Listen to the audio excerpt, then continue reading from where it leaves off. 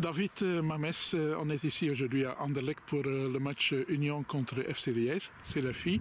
Pour vous, c'est une première, j'ai attendu. Bah, disons que c'est le maintenant c'est le troisième match. Ça fait ça fait maintenant un mois. Je suis arrivé deux, deux petites semaines avant la trêve. donc c'était le troisième match, deuxième match à domicile. Bon maintenant je commence à connaître de plus en plus les filles, donc c'est beaucoup plus facile. Je veux dire le premier match je connaissais pas leur prénom, mm. donc c'était plus difficile. Maintenant ici voilà on a su un petit peu travailler. Bon pas dans les meilleures conditions parce que bon c'était la trêve, le froid, le blocus, les examens. Euh, donc on a dû essayer de faire euh, au mieux. Mais, euh, mais voilà, on essaye de d'abord intégrer quelques valeurs mentales, uh-huh. quelques valeurs psychologiques, de confiance. Et, après voilà, on, essaie de mettre des choses en place, que le ballon roule. Et, euh, aujourd'hui, on a la deuxième mi-temps. Je, trouve que sur la deuxième mi-temps, euh, mis à part le penalty qu'elles ont, un, petit corner, je pense que sinon tout le reste du temps s'est passé dans le rectangle. Donc on était là, encore un petit peu un manque d'efficacité dans le rectangle, mais défensivement, les filles ont été efficaces. Maintenant, voilà, le score, euh, le score est assez, les chiffres sont, sont, assez mhm. présents. Je suis content des deux filles qui sont montées, parce que bon voilà, c'est l'exemple même de deux filles qui sont en blocus, en examen et qui n'ont pas su beaucoup s'entraîner, mais qui sont montées avec une envie.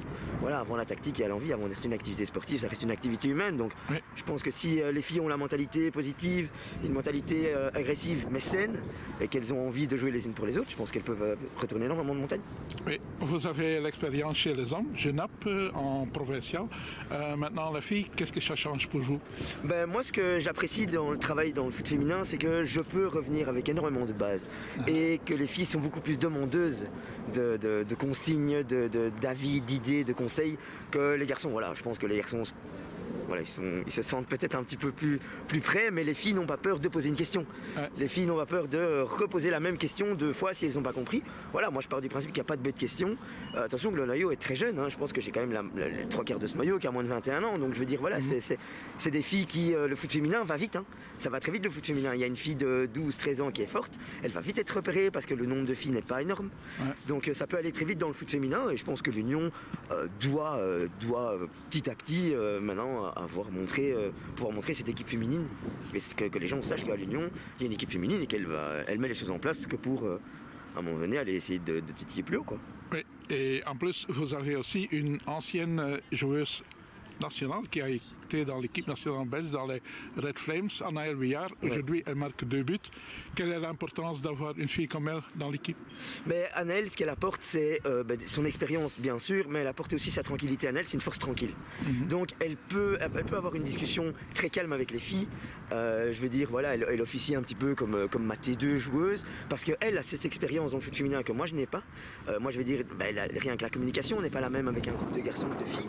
Elle, elle, peut apporter ça, cette communication. Moi, je vais dire peut-être quelque chose en criant qu'elle, elle va repasser derrière avec, euh, avec un petit peu euh, arrondir les angles.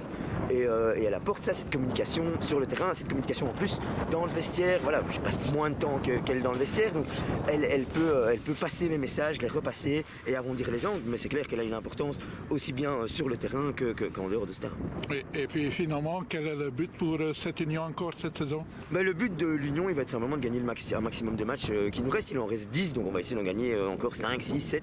Maintenant, si on sait gagner les 10, tant mieux. Bon, on va commencer chaque match en essayant de le gagner, ça c'est sûr. Ok, je vous remercie, félicitations et bonne chance pour la suite. Merci.